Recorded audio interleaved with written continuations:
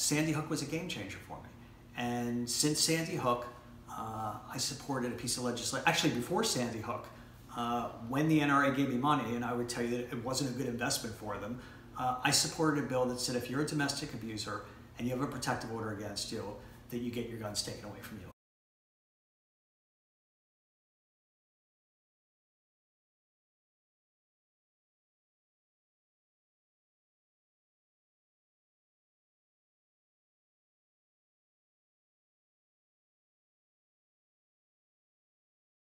2013, I supported the Firearm Safety Act of 2013.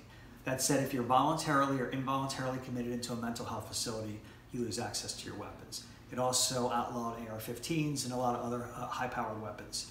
Uh, this year, five years after that 2013 vote, I co-sponsored bump stocks. So I had an A rating and I have an F rating from 2014 forward. Uh, and that's what I currently have, an F rating despite all the mail and other things. And there's a website uh, that identifies that, that is connected to the mailing we did. I think it's called votesmart.org mm-hmm. or yeah, votesmart.org. And I would encourage your viewers to go into it. Yeah. So I'm endorsed by NARAL Pro-Choice Maryland, which is huge. Uh, and I've been their advocate for 16 years. They've endorsed me in every single election. I have a 100% pro-choice voting record. Uh, and I've had their back and uh, it's, it's important.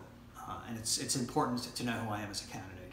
Uh, I've been endorsed by the League of Conservation Voters in every single election, uh, and I have a 90, it's either a 92 or a 94% lifetime voting record with them.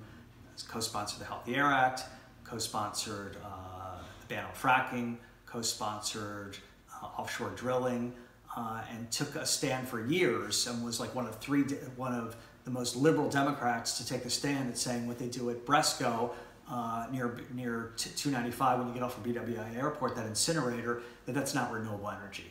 That's incineration that causes soot in the air.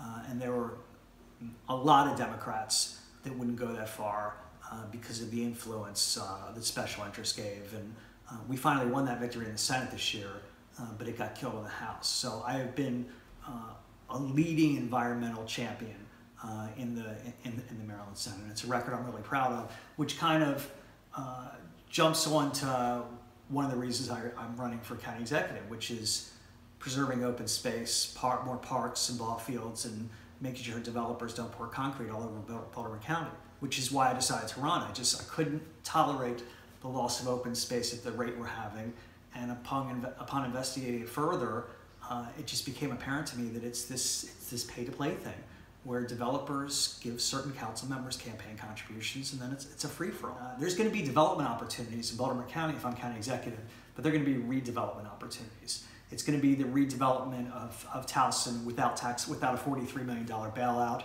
It's going to be redeveloping Security Square Mall uh, and having a, a green vegetative uh, buffer uh, or a, a, green center where kids can play and people can do in quality shops and quality restaurants and Whole Foods type grocery stores.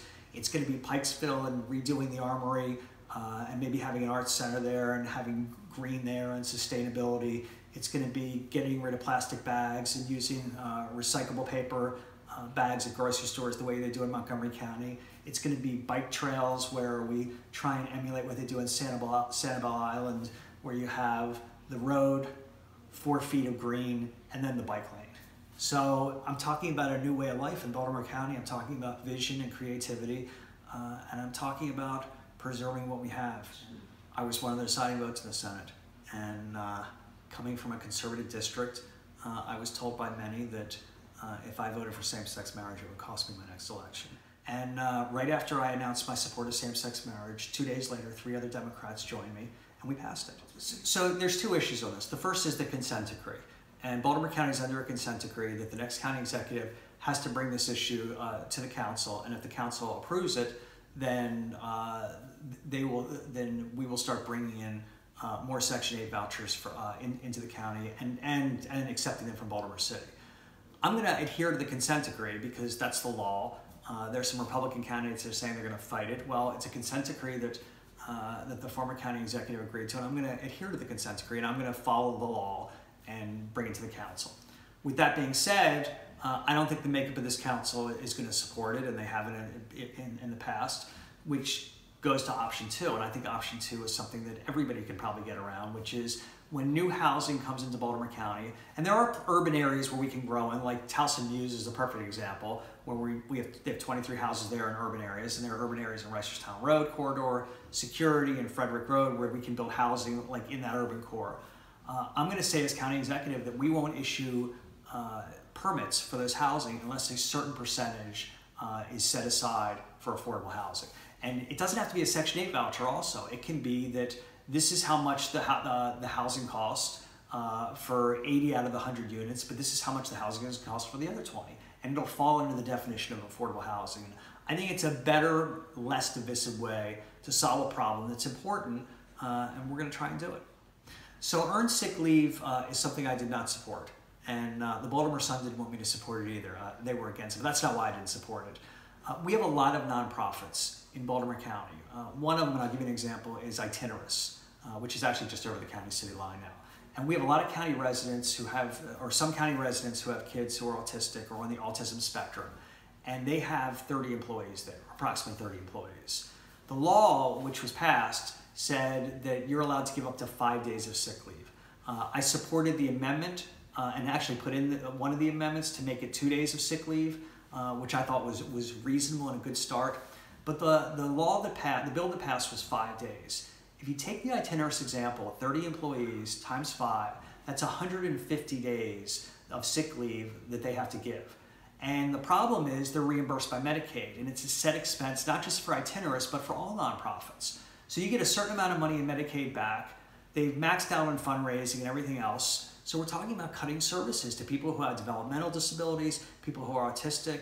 It's not, you know, the problem in Annapolis to a to an extent, and it's a much more bigger problem in DC, is that it's always all or none. And I thought that a reasonable thing would have been two days. I thought five days was onerous uh, for nonprofits, uh, and I didn't support the bill. And uh, I stand by it. And there were and look, some of the, the leaders of nonprofits, who are some of the most liberal people in, in, in the state, uh, urged me not to support it. And not some of them.